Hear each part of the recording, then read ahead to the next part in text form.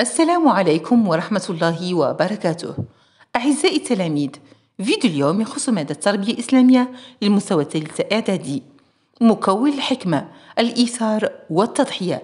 على بركة الله. نصوص مؤثرة للدرس. قال الله تبارك وتعالى والذين تبوأوا الدار والإيمان من قبلهم يحبون من هاجر إليهم ولا يجدون في صدورهم حاجة مما أوتوا. ويثيرون على أنفسهم ولو كان بهم خصصة ومن يوقى شح نفسه فأولئك هم المفلحون.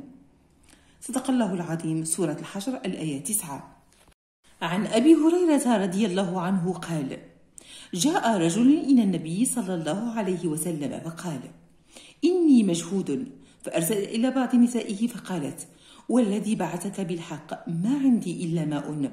ثم أرسل إلى أخرى فقالت مثل ذلك حتى قلنا كلهن مثل ذلك.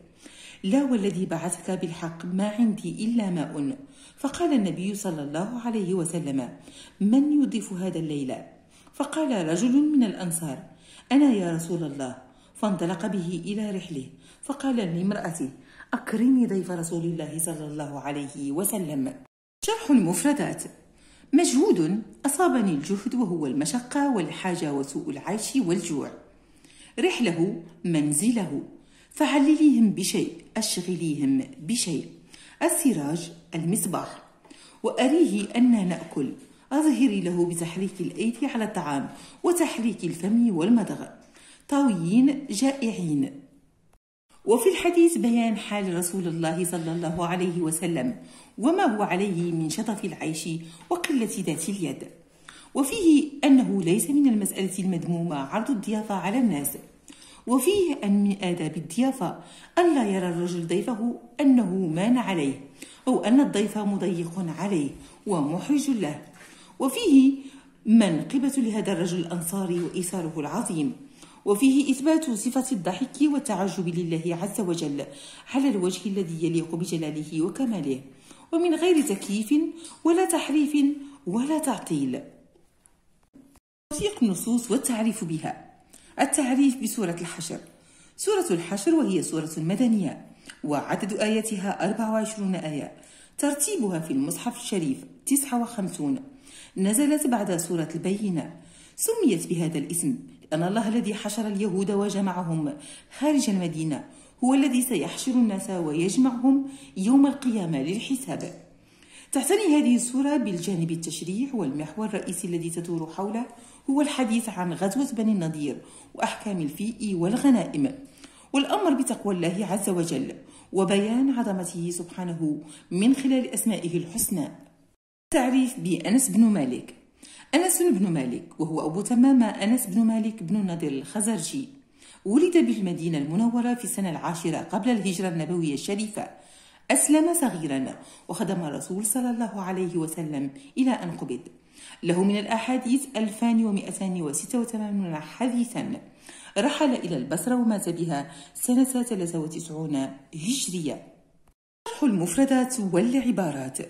يوثرون يفضلون. خصاصة فقر وحاجة وسوء حال. يوقى شح نفسه. يحتمي من البخل الشديد ومن الطمع. لا يؤمن أحدكم لا يكتمل إيمانه. مضامين النصوص الأساسية. أولا بيان الله تعالى الصفات المميزة للأنصار وهي حب إخوانهم المهاجرين وتفضيلهم على أنفسهم وعدم البخل عليهم بشيء. ثانيا لا يكتمل إيمان المؤمن حتى يحب لإخوانه ما يحب. من الخير ما يحب لنفسه. مفهوم الإيثار. الإيثار لغة التفضيل والتقديم. وشرعا هو تفضيل الغير على النفس وتقديم مصلحة الغير على مصلحة ذاتية وهو أعلى درجات السخاء وأكمل أنواع الجود ومنزل عظيمة من منازل العطاء. أقسام الإيثار. الإيثار درجتان إيثار يتعلق بالخالق. وهو إيثار رضا الله على رضا غيره وإن عظمت فيه المحن وأغضب الخلق وهي درجة الأنبياء والرسل. وكنموذج لهذا النوع نذكر امتثال سيدنا إبراهيم عليه السلام لأمر الله في ذبح ابنه موثرا محبة الله على محبة الولد. ثانيا إيثار يتعلق بالخلق وهو أن تؤثر الخلق على نفسك فيما يرضى الله ورسوله. وهذه درجة المؤمن من الخلق والمحبين من خلصاء الله ودواعي هذا النوع هما إيثار فطري وإيثار إيماني أخلاقي. إيثار فطري ومنه إيثار الوالدين ودافعه حب الوالدين لأبنائهما. إيثار إيماني أخلاقي ودافعه حب الخير للغير وإيثار الآخرة على الدنيا. فوائد الإيثار على الفرد. فوائد الإيثار على الفرد تتجلى في القبول عند الناس والقول الحسن. يكسب العبد رفعة في الدنيا والآخرة. يطهر القلب من البخل والشح والأنانية. يحقق الرزق. فوائد الإيثار على المجتمع. فوائد الإيثار على المجتمع تتجلى في انتشار حس التعاون والتكافل بين الناس. توثيق المحبة والألفة بين أفراد المجتمع.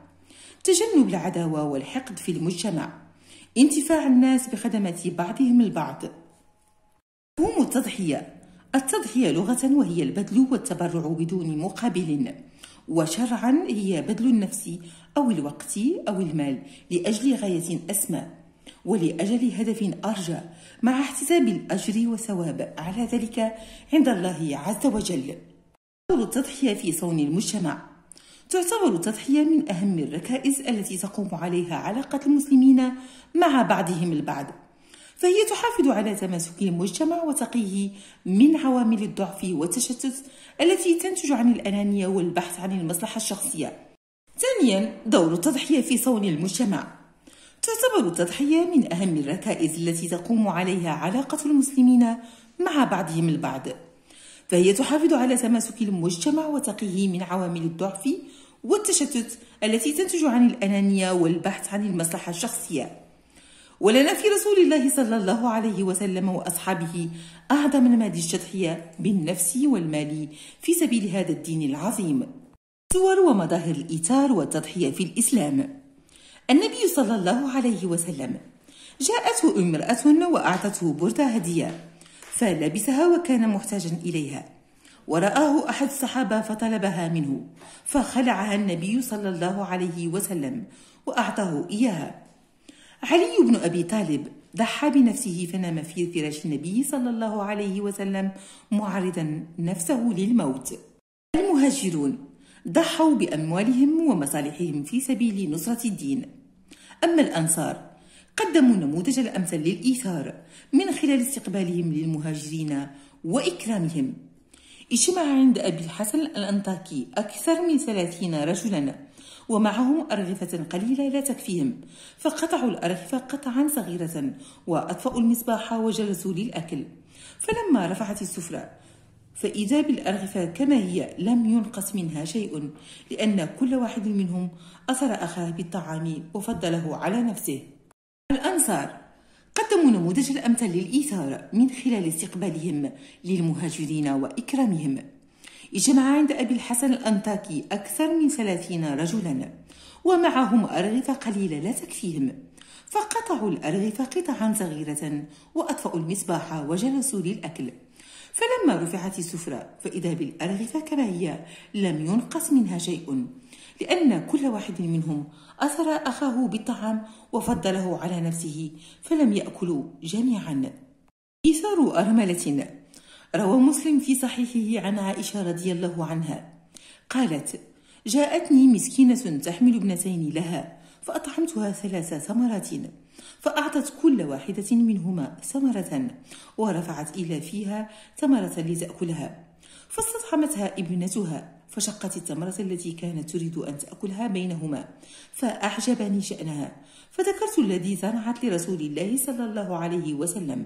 فقال إن الله قد أوجب لها بها الجنة أو أعتقها بها من النار. إلى هنا أعزائي التلاميذ وصلنا إلى نهاية الفيديو. فلا تنسوا الاشتراك في القناة وكذلك الضغط على زر لايك وزر الجرس ليصلكم مني كل جديد. دمتم في رعاية الله وحفظه.